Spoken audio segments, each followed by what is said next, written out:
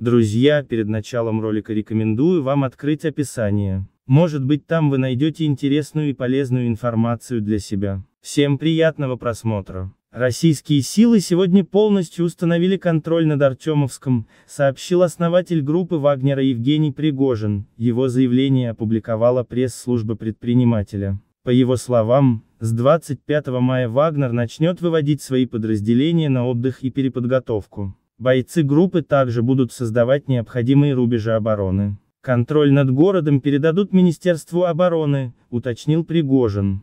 Он поблагодарил генералов Сергея Суровикина и Михаила Мизинцева, которые дали возможность провести эту тяжелую операцию. Подписывайтесь на канал, ставьте лайки, оставляйте комментарии.